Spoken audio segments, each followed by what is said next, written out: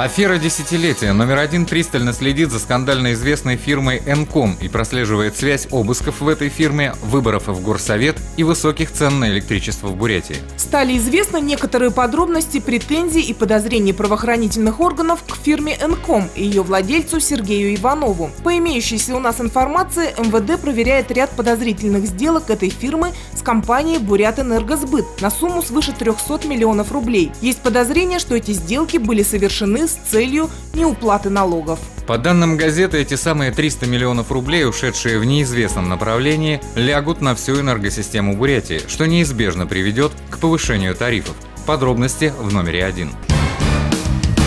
Работники киосков «Новости» выступили с открытым обращением к властям с просьбой не изгонять киоски печати и «Огонек» с улиц. Более 70% киосков, как считают подписанты, с подачи Комитета по промышленности могут исчезнуть по личному решению одного руководителя. Ранее он заявлял, что киосков слишком много и игнорирует контраргументы. Сотрудники ОАО «Новости» не просят у властей никаких льгот. Они только хотят, чтобы им не мешали работать. На предприятии трудятся свыше 400 сотрудников. Ежегодно компания перечисляет свыше 40 миллионов рублей в виде налогов. В письме в газету подробно и внятно излагается точка зрения новостей и задаются неудобные вопросы чиновнику. Полиция взялась за ликвидацию улан-удэнских бомжатников, начав с зачистки сквера на Саянах. Это живописное место напротив театра, рядом с отделом полиции, облюбовала биржа труда, а социальные типы, которые пьют, дебоширят и загрязняют окрестности. Гетто разогнали по домам. Но надолго ли? Людей, которые находятся в состоянии опьянения в общественных местах, просто некуда девать. ЛТП и вытрезвители давно закрыты. Поэтому после составления протокола участковые вынуждены их отпускать. Ну а отделавшись от назойливого внимания полицейских, алкоголики, как правило, возвращаются к своим товарищам и продолжают банкет.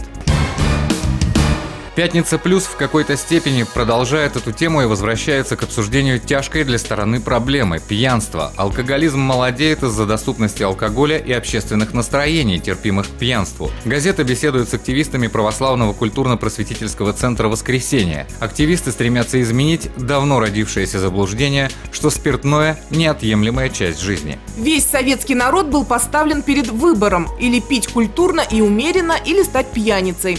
Эти два направления подают подавались как прямо противоположные друг другу. Но на самом деле здесь никакого выбора не было. Одно является началом, а другое – печальным финалом. Выбор появляется тогда, когда вопрос сформулирован правильно – пить спиртное или жить трезво. Газета вместе с активистами предлагает задуматься, сейчас, когда в России происходит рост национального самосознания, не упустить бы момент.